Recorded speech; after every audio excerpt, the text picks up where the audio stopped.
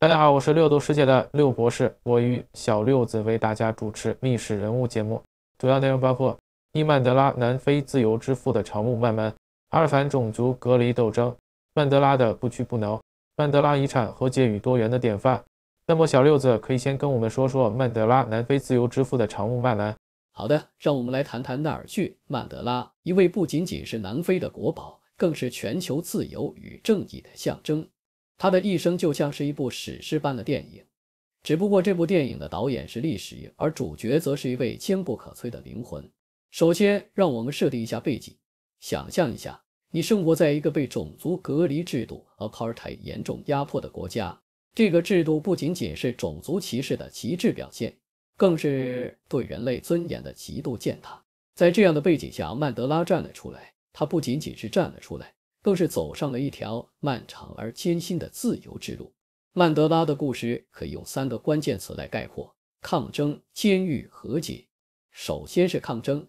曼德拉年轻时加入了非洲人国民大会 （ANC），从法律工作到地下活动，他用尽一切手段反抗种族隔离。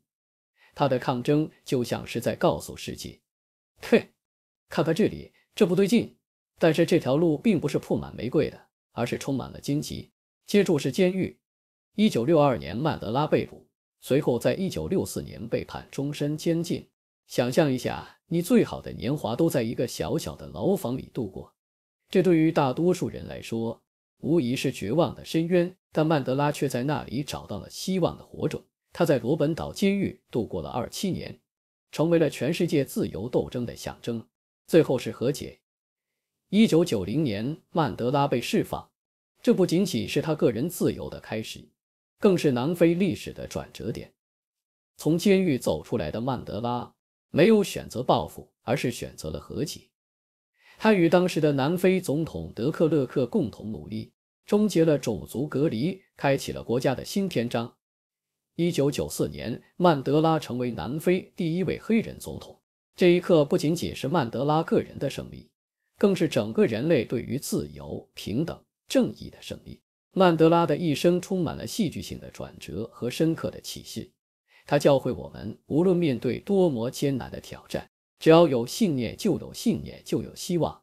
他的故事就像是一盏明灯，照亮了人类追求自由和正义的道路。最后，我想用曼德拉自己的话来结束这次分享：我从未渴望自由，仅仅是为了自己的自由。我渴望的是自由。是为了创造一个充满爱与和平的社会。曼德拉的故事不仅仅是南非的故事，更是全人类的故事。谢谢小六子的介绍。那再跟我们介绍一下反种族隔离斗争曼德拉的不屈不挠。好的，让我们一起探索纳尔逊·曼德拉这位历史巨人的故事，但以一种稍微不那么严肃的方式。想象一下，如果曼德拉的生活是一部电影，那么它绝对是一部动作片、励志剧和爱情故事的完美混合体。而且别忘了。还有一点点的法庭戏剧。首先，我们的主角纳尔逊·曼德拉出生于1918年，他的名字 Gula Hola 在他的母语中意味着拉树枝的人，或者更通俗的说，麻烦制造者。看来他从一出生就注定要摇摆不定，挑战现状了。快进到他的成年生活，曼德拉成为了一名律师，但不是那种只在办公室里打印文件的律师，不，他是那种站在前线。与南非的种族隔离制度战斗的律师，想象一下，他穿着锋利的西装，用法律书籍作为他的盾牌，与不公正做斗争。这部分电影绝对是法庭戏剧的高潮。但是曼德拉很快意识到，要打败这个系统，他需要做的更多。于是，他加入了非洲人国民大会员 ANC，并开始了他的地下活动生涯。是的，这就是动作片部分开始的地方。我们的英雄不仅是一位律师，还是一位秘密战士，与邪恶的种族隔离制度做斗争。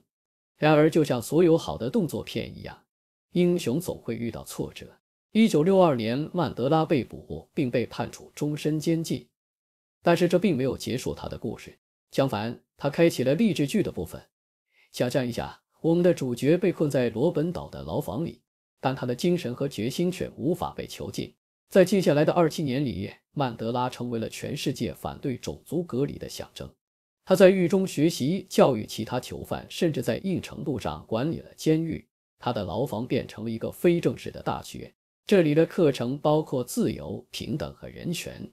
最终，一九九零年，曼德拉被释放，这是电影中的高潮。他走出监狱的那一刻，不仅是他个人自由的象征，也是南非即将迎来新纪元的标志。但故事并没有结束，曼德拉接着成为了南非的第一位黑人总统，领导这个国家走向和解和团结。这部分是爱情故事，不仅仅是曼德拉和他的妻子格拉萨·马歇尔之间的爱情，更是他对整个国家的爱。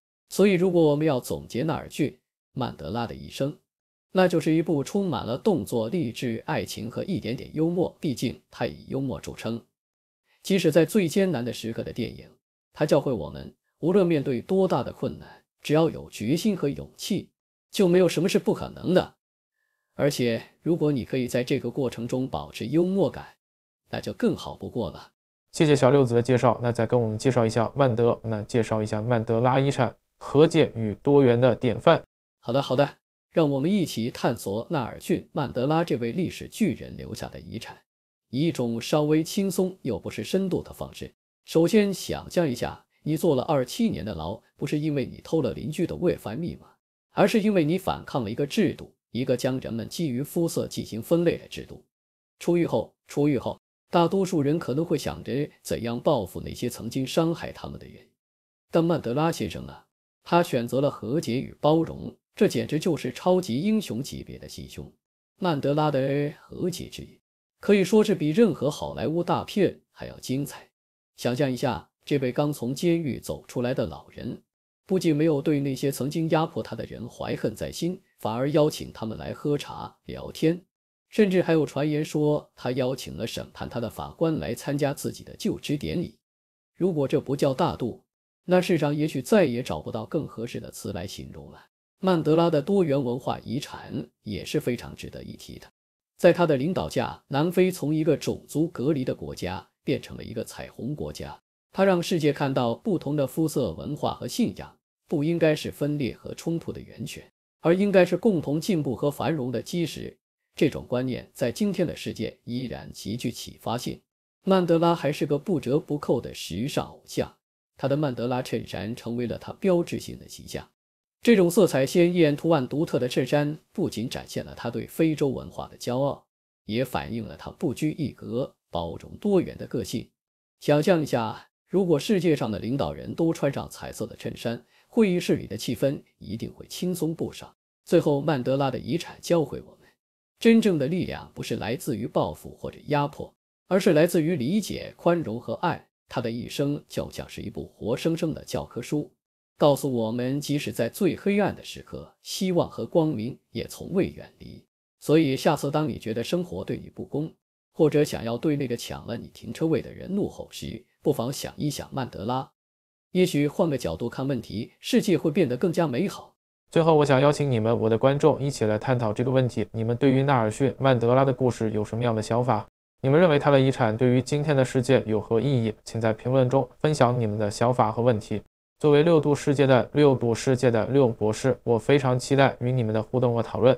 曼德拉的故事告诉我们，一个人的力量可以改变历史，而我们每个人也都可以改变世界的力量。所以，让我们一起努力，为自由、平等和正义而战。谢谢大家，我们下次再见。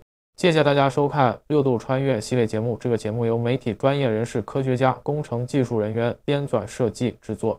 但是这些内容并非用于做出决策或法律裁定的基础。欢迎在节目留言区发表您的见解，纠正节目可能存在的错误。谢谢大家收看，欢迎订阅我们的频道，给我们节目点赞。